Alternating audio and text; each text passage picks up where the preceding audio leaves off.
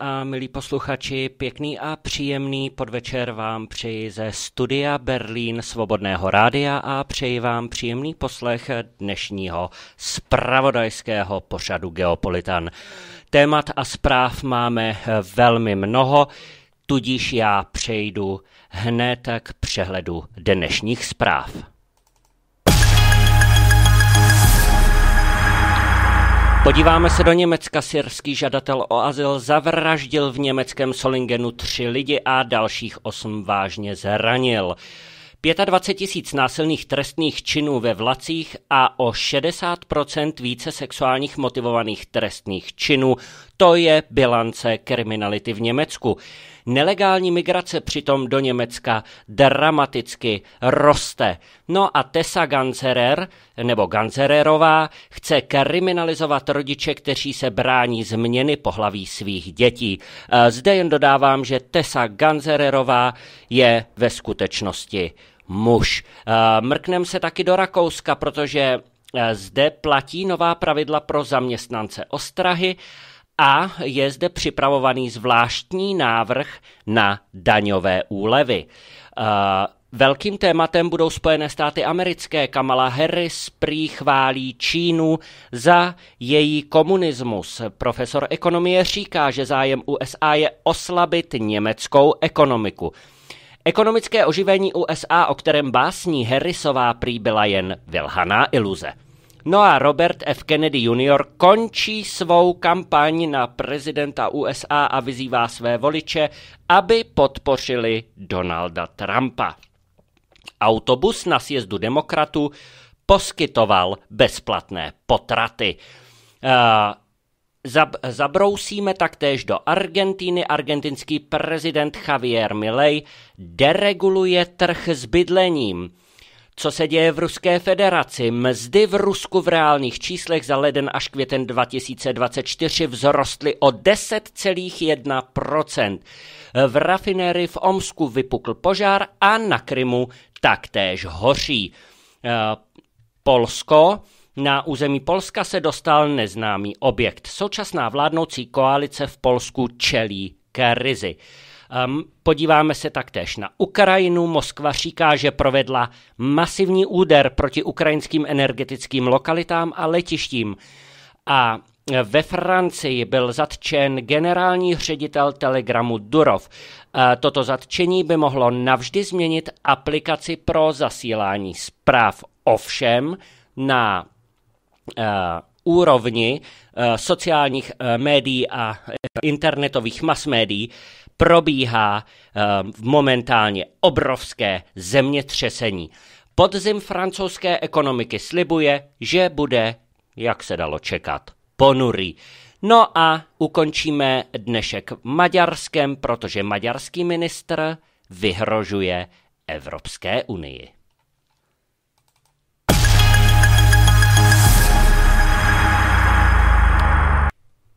Jsme v Německu. Zde syrský žadatel o azyl zavraždil v německém Solingenu tři lidi a dalších osm vážně zranil.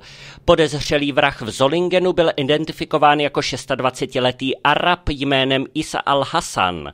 Při útoku nožem během pátečního festivalu ve městě zranil osm lidí a tři zabil, jak o tom informovala i tuzemská média. Uh, Podezřelý se narodil v syrském městě Deir al-Sor a do Německa přišel na konci prosince 2022 jako uprchlík před krutým a nelidským zacházením. Isa al-Hassan již podal žádost o azyl pro pobyt v EU v Bulharsku. V pátek provedl svůj útok nožem proti lidem, které neznal na festivalu diverzity v Solingenu. Tři lidé zemřeli a osm jich bylo zraněno. Po spáchání svých zločinů se žadatel o azyl schoval na dvorku. K vraždám a pokusům o ně se přihlásila teroristická skupina Islámský stát, která se řídí učením Koránu a Al-Hasan se i hned poté přihlásil policii. Ve svém prohlášení zveřejněném na svém spravodajském webu Amak skupina uvedla, že útok byl proveden k pomstě muslimů v Palestině a všude. Isa al-Hassan byl v Německu bez povolení, úřady to věděli. Loni měl být převezen do Bulharska, ale v odpovídající den nebyl nalezen ve svém ubytování. Místo toho, aby ho německé úřady zapsali na seznam hledaných osob a poté, co byl dopaden, deportovali, poskytli mu doplňkovou ochranu, kterou mimochodem poskytuje i Česká republika, v souladu s pokyny, které stanovily jejich ministerstva. Pokud by na německých hranicích probíhaly kontroly totožnosti, Isa al-Hassan by se do Německa vůbec nedostal. Pokud by byla zavedena deportační vazba, byl by v roce 2023 propuštěn. Díky zavedení zákona a pořádku v této zemi mohli tito tři lidé v Solingenu a mnoho dalších, kteří byli zavražděni uprchlíky a žadateli o azyl a dalšími žadateli o ochranu stále naživu. Útok v Solingenu by neměl mít za následek pouze projevy zděšení. Statisticky prokázaná exploze kriminality musí mít konečné následky. Všichni občané, včetně míru milovných, pracovitých a dobře integrovaných migrantů, chtějí konečně konec tohoto tolerovaného násilného teroru. Ohledně smrtelného útoku v Solingenu mluvčí poslaneckého klubu AFD Gottfried Curio pro domácí politické otázky sdělil následující, cituji, jen pár dní po zrušení koncertu Taylor Swift kvůli hrozbě terorismu a po zprávě o formální veřejné popravě na frankfurtském hlavním nádraží si země, kterou zužuje explodující zločin s nožem, si musí stěžovat o vážné vraždě několik několika lidí nožem. Pachatel, který byl původně popsán jako arabsky vyhlížející a poté jako jižan, měl na svědomí tři zavražděné a řadu těžce zraněných lidí. To by vyžadovalo přemýšlet o navržení lepší politiky, politiky maximální záruky vnitřní bezpečnosti, nulové tolerance vůči explozi násilné pouliční kriminality a otevřeného pohledu na špatné věci, které toto vše umožňují a způsobují zásadní politická rozhodnutí.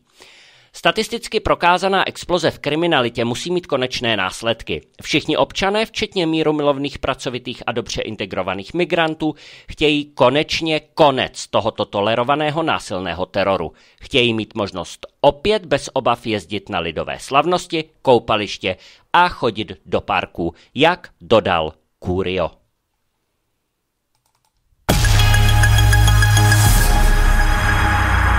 V Německu zůstáváme 25 tisíc násilných trestných činů ve vlacích a o 60% více sexuálně motivovaných trestných činů v Německu. Nedávná poprava mladého muže za bílého dne na nástupišti 9. frankfurtského hlavního nádraží ukazuje, že na německých nádražích je to stále nebezpečnější a statistiky kriminality tak hovoří sami za sebe. 70 násilných trestných činů denně, zejména mnoho útoků nožem, znásilnění, útoky nožem 20 tisíc násilných trestných činů, což je nárůst o 42% ve srovnání s rokem 2019. O situaci mimo jiných informuje i mainstreamový deník Bild. Ve vlacích se každý den odehraje 70 násilných trestných činů a zvláště časté je pobodání. Upozorňuji denně. Úřady loni zaznamenali celkem 555 útoků nožem a téměř 16 tisíc fyzických zranění znásilňování a obtěžování. Většinu z nich samozřejmě páchají cizinci. Jsou také stále běžnější. Ve srovnání s rokem 2019 se počet sexuálních trestných činů zvýšil o 60%. Loni bylo zraněno téměř 800 policistů. Policisté si také vedli o něco v uvozovkách lépe než cestující a zaměstnanci Deutsche Bahn. V roce 2023 bylo zraněno 793 spolkových policistů a celkem došlo k téměř třem tisícům útokům na spolkové policisty v železniční dopravě. Německo již dávno není státem, kde by se běžný člověk mohl cítit zcela bezpečně.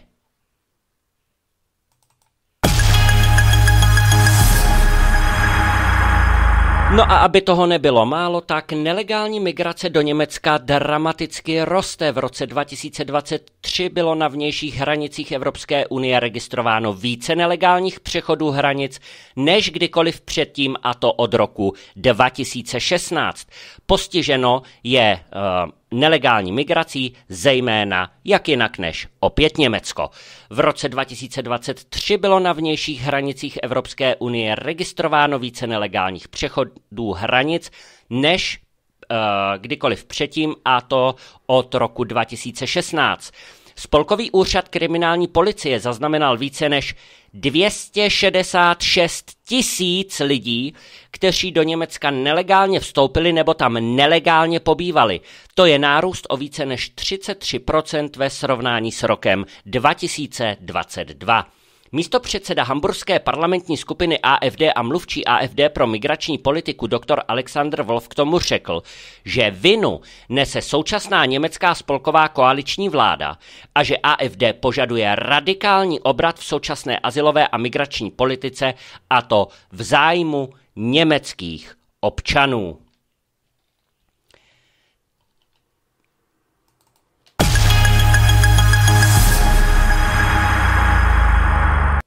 Tessa Ganzererová chce kriminalizovat rodiče, kteří se brání změny pohlaví svých dětí.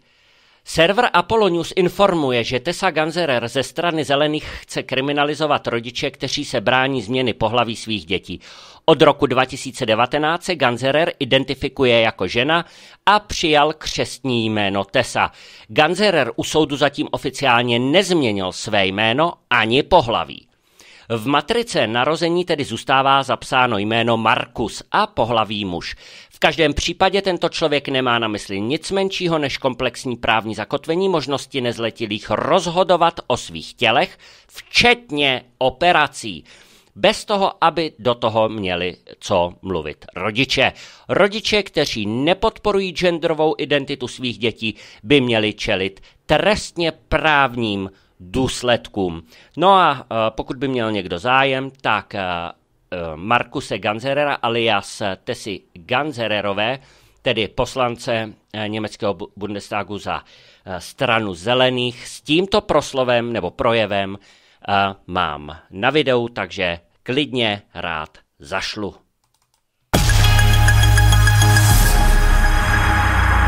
Nyní se podíváme do Rakouska, zde platí nová pravidla pro zaměstnance Ostrahy. Dvě ministerstva práce a hospodářství a vnitra pod vedením ÖVP předložila návrh na přísnější kontroly zaměstnanců Ostrahy.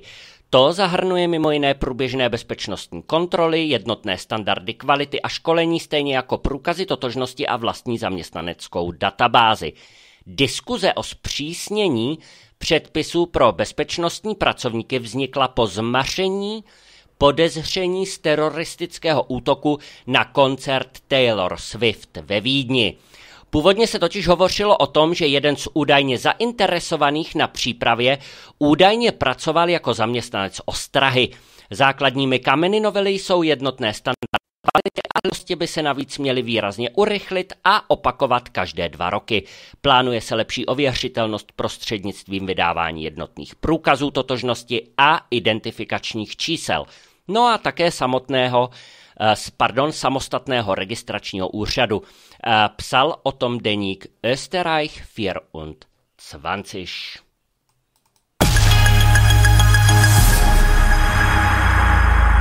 A EVP chce do Rakouska nalákat zahraniční firmy a to na daňové úlevy. Firemní daň by se měla snížit na 15%, zaměstnanci by také měli platit méně daní. EVP v pondělí představila další kapitolu ze svého volebního programu. Kompletní výsledek by pak měl být k dispozici do 7. září. ÖVP myslí i na snížení daní pro zaměstnance. Jednak by se měly snížit dodatečné mzdové náklady, Jednak by se měla snížit sazba daně na vstupu z 20 na 15% a sazba 48% pro lidi s vysokými příjmy by měla být zcela odstraněna. Ta má podpořit osoby s nízkými příjmy a ty, kteří hrají klíčovou roli v systému přerozdělování. Všichni zaměstnanci na plný úvazek by také měli dostat tisíc eur jako bonus prostřednictvím zaměstnaneckého výměru a přes časy by měly být zcela osvobozeny od daně. Takže vážení, kdo umí německy a měl by zájem v Rakousku, to bude zanedlouho velice výhodné.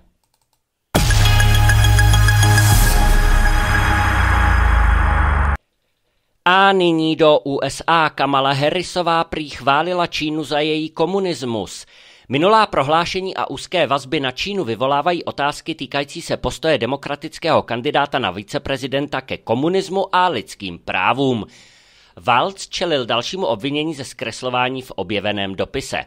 Guvernér Minnesota Tim Walz čelí dalšímu obvinění ze zkreslování své minulosti poté, co se během Valcovy kampaně na viceprezidenta znovu objevil dopis obchodní komory z Nebrasky z roku 2006. Když Walz poprvé kandidoval do kongresu v Minnesotě, vychvaloval na webových stránkách své kampaně, že podle článku z roku 2006 v Post Bulletin získal v roce 93 cenu od obchodní komory v Nebrasce za svou práci s podnikatelskou komunitou. Nikdy se mu však takové ceny nedostalo, což mu bylo nastíněno v bouřlivém dopise od tehdejšího prezidenta Nebraské obchodní komory Barryho L. Kennedyho. Tim Walz, demokratický kandidát na viceprezidenta a úřadující guvernér Minnesota, v současnosti čelí zvýšené kritice. Důvodem jsou předchozí výroky a jeho dlouholeté spojení s Čínou, na které se nyní pohlíží v novém světle.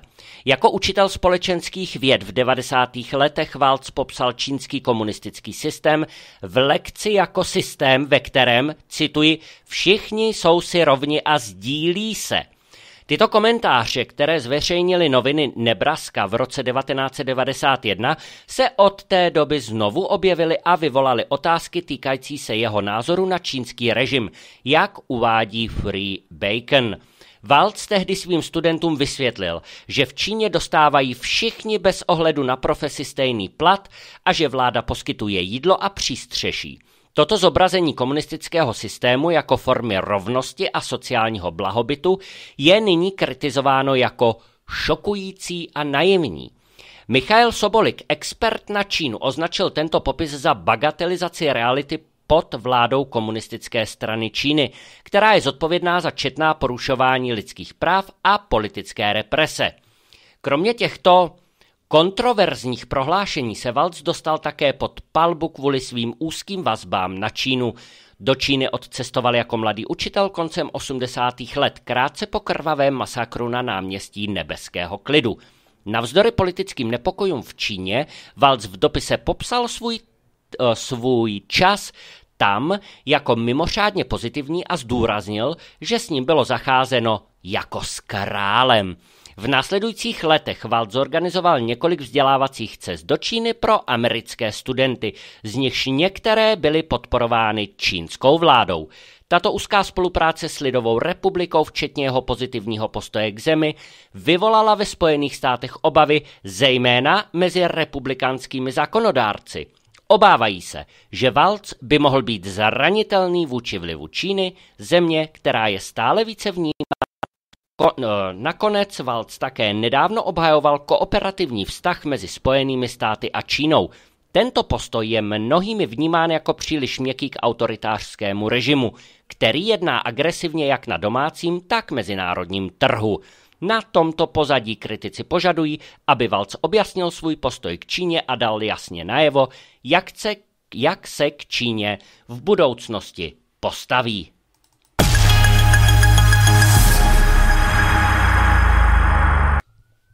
Profesor ekonomie tvrdí, že zájem USA je oslabit německou a tedy i evropskou ekonomiku. Profesor ekonomie v rozhovoru vysvětluje, že v zájmu USA e, že je v zájmu USA oslabit evropskou ekonomiku a eskalovat konflikt s Ruskem, protože USA jsou se svým dluhem ve velmi obtížné pozici. Profesor ekonomie v rozhovoru dále vysvětlil, uh, že, eh, nebo byl eh, velice extrémně kritický a to k politice ministrině zahraničí Annaleny Berbokové a ministra hospodářství Roberta Habeka. Eh, profesor ekonomie se jmenuje Christian Kreis. Zájem USA na oslabení německá a evropské ekonomiky rozhodně je. Eh, podle jeho názoru by USA záměrně eskalovaly konflikt Evropy s Ruskem a válku Ukrajiny s Ruskem, protože jsou se svými dluhy v ekonomické a finanční krizi. V tomto smyslu se zdá, že Annalena Berbok a Robert Habeck by jakoby škrtili německou ekonomiku a sledovali by tak zájmy USA. Protože podle Krajse je Evropa vnímána jako konkurent. V tomto smyslu mu vytýká, že Berboková dále eskaluje situaci v konfliktu a společně s Habekem zajišťuje, že v Německu rostou ceny energií, zejména pak plynu, který je mnohonásobně dražší než ten v USA. Trpí tím zejména německé střední podniky.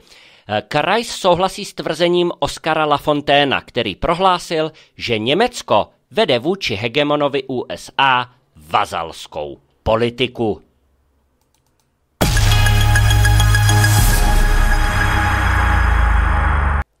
No a ekonomické oživení USA, o kterém básní Harrisová, prý byla jen vylhaná iluze.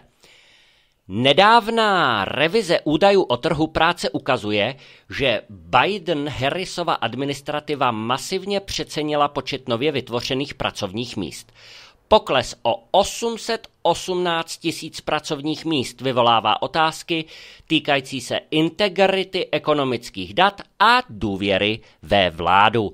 Dne 21. srpna 2024 ozna, oznámilo Bureau of Labor Statistics šokující revizi údajů o trhu práce – Počet nových pracovních míst vytvořených mezi dubnem 2023 a březnem 2024 byl revidován směrem dolů o neuvěřitelných 818 tisíc. Toto odhalení je v příkrém rozporu s opakovanými tvrzeními prezidenta Joe Bidena a viceprezidentky Kamaly Harrisové, že jejich administrativa přinesla působivý růst pracovních míst, jak píše Legal Insurrection. Rozměr této revize je značný, představuje největší revizi směrem dolů za posledních 15 let a podkopává důvěru v ekonomická data zveřejněná během vlády Biden-Harrisové. Vláda oslavovala rostoucí čísla zaměstnanosti jako důkaz své úspěšné hospodářské politiky, ale skutečnost je výrazně jiná. Oprava přišla uprostřed demokratického národního schromáždění, díky čemuž je načasování obzvláště pikantní – Zatímco Biden a Harrisová slavili své ekonomické úspěchy, ukázalo se, že značná část tohoto úspěšného příběhu byla založena na nepravdivých datech. Tento rozpor vyvolává vážné otázky, jak by mohla být data tak vážně zkreslena. Mária Bartiromo, známá moderátorka Fox News, situaci trefně okomentovala. Citát – Mysleli jsme, že bude až milion dalších pracovních míst, ale toto odhalení řekla, dala, uh, řekla uh, Barty Romova, Barty Romova by radikálně uh, mohlo změnit vnímání celé situace, protože ekonomická stabilita USA se výrazně na trhu práce. Ještě znepokojivější je skutečnost, že tato korekce přichází v kritickém volebním roce, což mnohé vede k pochybnostem o vládních motivech. Četnost a rozsah těchto korekcí by mnozí mohli považovat za pokus oklamat veřejnost a zamlčet skutečnou ekonomickou situaci. Laura Ingrahamová rovněž z Fox News označila situaci za skandál a vyzvala k vyšetření, aby se zjistilo, zda zkreslení zpráv bylo úmyslné, úmyslné a to poskytnout Bidenovi a Harrisové politickou podporu. Zdůraznila, že tyto nepravdivé údaje jsou vlajkovou lodí hospodářských úspěchů vlády a že toto odhalení velmi zatěžuje její důvěryhodnost. Kromě opravy čísel na trhu práce zpráva Centra pro imigrační studie ukázala, že téměř veškerý růst pracovních míst od roku 2019 pochází z nárůstu zahraničních pracovníků, zatímco počet zaměstnaných Američanů klesl. To vyvolává další otázky o účinnosti hospodářské politiky současné vlády a mohlo by to ještě více oslabit důvěru voličů ve vedení země. Závěrem tato odhalení zdůrazňují naléhavou potřebu přeskoumat přesnost a transparentnost ekonomických údajů zveřejněných americkou vládou. Vzhledem k tomuto znepokojivému vývoji je pro Biden-Harrisovou administrativu stále obtížnější učinit své hospodářské úspěchy důvěryhodnými.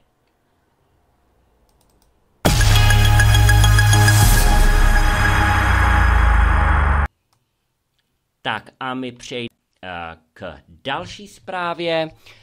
Robert F. Kennedy Jr. končí svou kampaň na prezidenta USA a vyzývá své voliče, aby podpořili Donalda Trumpa. Robert F. Kennedy Jr. ukončil vlastní kampaň a nyní podporuje Donalda Trumpa.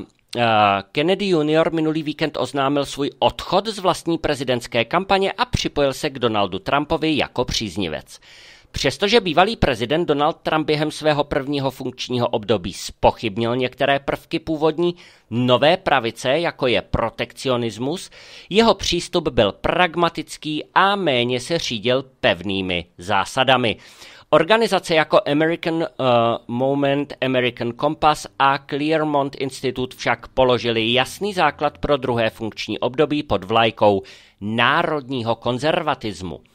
Senátor G.D. Vance Ohio byl několik let vnímán jako představitel národního konzervatismu a jeho letošní zvolení za Trumpova víceprezidenta v kandidátce bylo alespoň částečně způsobeno lobbyingem hlasů nové pravice.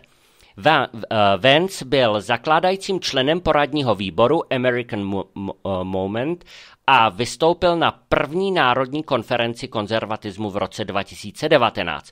Spisovatel Josh, Josh Hammer nedávno nazval Vence vyvoleným a řekl, že je jedinečně způsobilý dát hlas jedné nebo dvou generacím a trvale proměnit americkou kulturní a politickou scénu.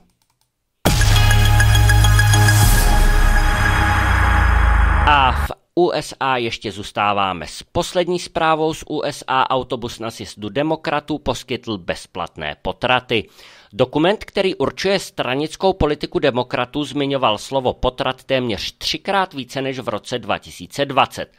Symbolem potratové politiky demokratické strany, jejíž sjezd se konal minulý týden ve Washingtonu, se stal jeden autobus. Autobus, který patřil potratové organizaci Pl- uh, Planet Parenthood, v blízkosti stranického sjezdu nabízel zdarma chemické potraty a vasektomii neboli sterilizaci mužů. Autobus nabízel také antikoncepci zdarma. Zatímco republikáni pod vedením Donalda Trumpa nechtějí pro-life politiku prosazovat na uh, spol, uh, federální úrovni a chtějí ponechat na uh, bedrech států, demokraté pro potratovou úpravu federálních zákonů explicitně formulují jako svůj cíl. Potraty ve svém projevu po přijetí nominace nevynechala ani v současnosti nejznámější demokratka, kandidátka na prezidenta Kamala Harrisová. Pokud bude zvolena podle svých slov obnoví takzvaná reprodukční práva. Citát, a když kongres schválí zákon o obnovení reprodukční svobody, jako prezidentka Spojených států ho zhrnou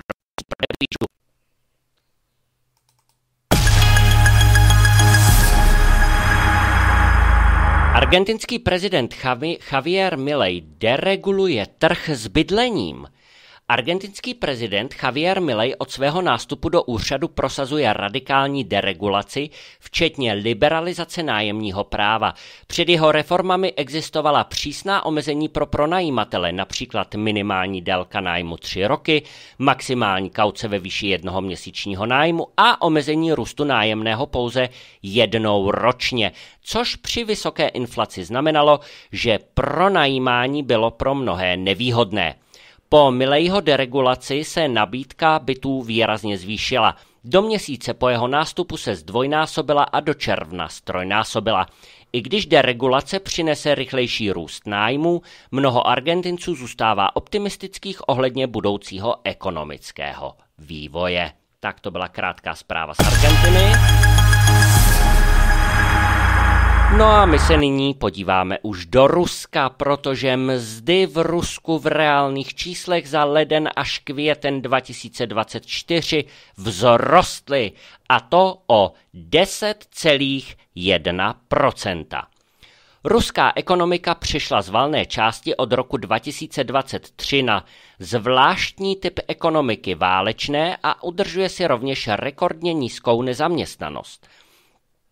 Uh, v červnu dosáhla tato hodnota 2,4% V první polovině roku vzrostlo HDP země o 4,6% Země se však potýká rovněž s inflací, ke které se vyjádřil prezident Vladimír. Putin s tím, že je nutné zvýšit účinnost koordinovaných akcí ke snížení inflace. Prezident rovněž popsal, že je nutné mimo jiné podporovat podnikatelské investice do modernizace a otevírání nových výrobních zařízení, vytváření pracovních míst a do školení personálu. Spolu s tím informovala agentura TAS, že podíl zahraničních investic v ruských dluhopisech s federálními půjčkami se zkrátkou OFZ klesl k 1. srpnu 2024 na 6,6%, jak zveřejnila Bank of Russia.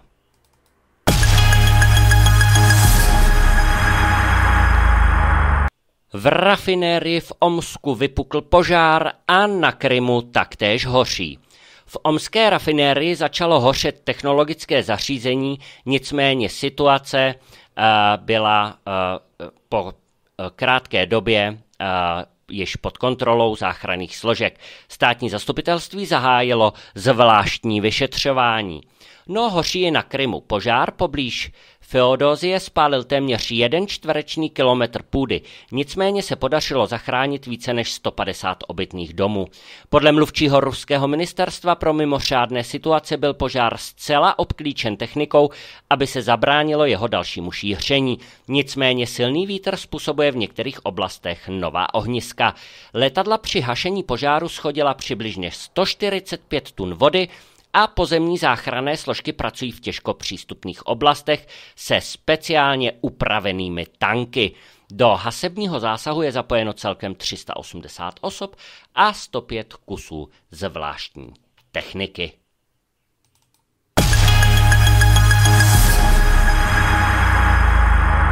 Na území Polska se dostal neznámý objekt. Objekt, který vstoupil na polské území, není raketa, ale s největší pravděpodobností dron. Při pondělním masivním útoku na ukrajinské území jsme pravděpodobně měli co dočinění s objektem vstupujícím na polské území. Objekt byl radarem potvrzen nejméně třemi radarovými stanicemi. V oblasti Tiscovce nebyl hlášen žádný výbuch. Píše o tom konzervativní list Gazeta Vyborca.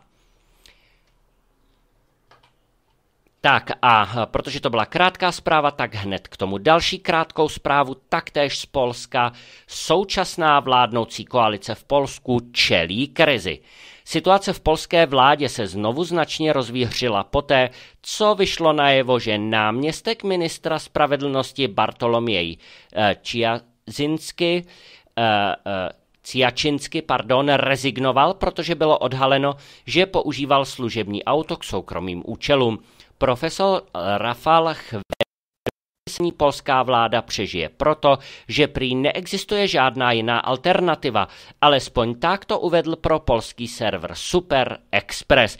A já jen k tomuto dodám, že uh, Ursula von der Leyenová a Evropská komise zrušila uh, zrušila uh, proti Polsku sankce a uvolnila peníze, protože pod vedením Donalda Taska prý eh, není v Polsku již uh, ohrožen v uvozovkách právní stát.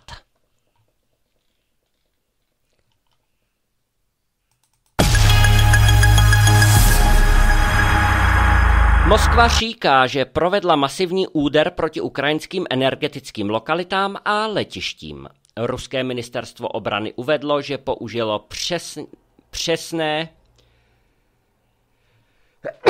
pardon, eh, vzdušné a námořní zbraně a útočné drony proti energetické infrastruktuře, cituji, podporující ukrajinský vojensko-průmyslový komplex. Jde o největší vlnu leteckého bombardování v této zemi za poslední týdny. Ukrajinský ministr energetiky German Galuščenko na Facebooku uvedl, že situace je složitá.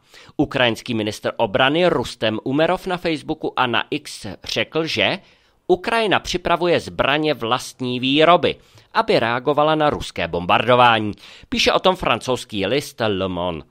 Výbuchy jsou slyšet mimo jiné v Kijevě, Charkově, Kryvý roh a Vinicia a v celé zemi byl vyhlášen poplach. Podle starosty Kijeva Vitalie Klička ve městě dochází k přerušení dodávek elektřiny a vody. No a my si tento, eh, tuto zprávu podrobněji rozebereme s Milanem Zadělákem ve vysílání, v našem společném vysílání od 19 hodin, kde máme pro vás připraveno spoustu témat, ale toto téma bude mezi nimi a máme přesně uh, zdokumentováno, kde co bylo a zejména proč bylo vybombardováno.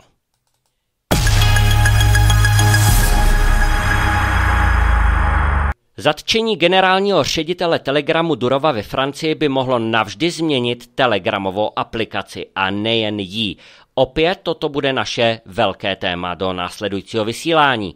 Večer 24. srpna byl na francouzském letišti Le Bourget zadržen zakladatel telegramu Pavel Durov poté, co tam soukromým tryskáčem přiletěl z Azerbajdžánu. Podle francouzských médií zatčení souviselo s odmítnutím spolupracovat s orgány činnými v trestním řízení a s úpravou nástrojů, které aplikace poskytuje. Kanál LCITV poznamenal, že to údajně činí Durova spolupachatelem obchodu s drogami. Telegram se letos na jaře opět stal středem zájmu evropských úřadů. V květnu začaly orgány EU diskutovat s Telegramem o uživatelské základně Messengeru v Evropě, jak uvedla agentura Bloomberg. Tehdy místo předsedkyně Evropské komise pro hodnoty a transparentnost Věra Jourová zároveň obvinila Moskvu z využívání platformy k šíření dezinformací. Podle oficiálních údajů platformy měl Telegram k únoru 2024 41 milionů uživatelů, ale regulátoři se domnívají, že skutečný počet uživatelů je vyšší, poznamenal Bloomberg. Služby s 45 miliony nebo více uživateli jsou podle evropského práva považovány za velmi velké online platformy a musí splňovat přísnější pravidla podle zákona EU o digitálních službách. Formálně byl Durov zatčen za odmítnutí spolupráce s francouzskými úřady, které Telegram obvinují z toho, že umožnil zločincům operovat na platformě pod rouškou anonymity. Za Durovovým zatčením může být více, než co je oficiálně uváděno. Úřady nyní prodloužili vazbu zakladatele Telegramu Pavla Durova po jeho zatčení v Paříži. Tento ruský miliardář se údajně zmílil, když navštívil Francii v době, kdy byl vyšetřován kvůli zločinům spojeným s jeho platformou. Jeho zatčení v sobotu na letišti Le Bourget poblíž Paříže představuje další dramatický zvrat v kariéře jedné z nejvlivnějších technologických osobností světa. Durov je obviněn z toho, že neudělal dost pro omezení zločinného využívání své platformy ale to nejsou všechna obvinění. V neděli večer Telegram ve svém prohlášení uvedl, Telegram dodržuje zákony EU, včetně zákona o digitálních službách. Vše.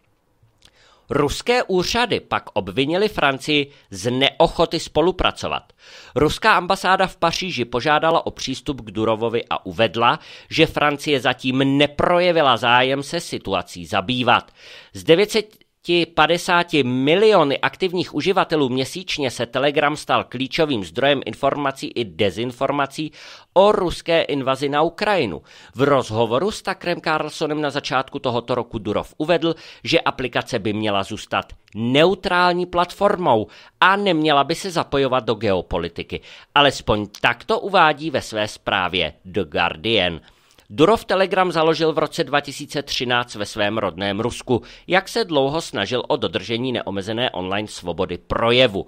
Platforma tak přijala podstatně lehčí přístup k moderování obsahu než jiné sociální sítě a i na základě toho se rozrostla na téměř miliardu uživatelů. Citát.